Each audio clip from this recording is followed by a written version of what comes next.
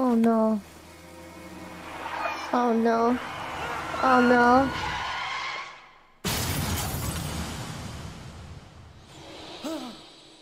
This really is the trolley problem. Do you save you and your wife, or do you run over the kid? Oh shit. Congrats on the kill! Oh my god, you're fucked up. That's fucked up, man.